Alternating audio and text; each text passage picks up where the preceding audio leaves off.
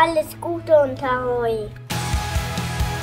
Mit dem Konzept Green Cruising wird AIDA weltweit die erste Kreuzfahrtreederei sein, die ihre neue Schiffsgeneration zu 100 Prozent mit Flüssigerdgas LNG betreiben werden kann. Wir taufen dich auf den Namen AIDA Nova.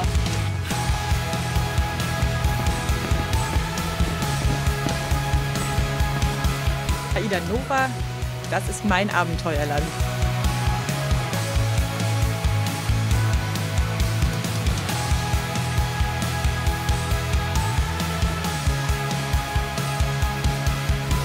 Man kann das gar nicht äh, genug mit Worten beschreiben, sondern man muss einmal da gewesen sein.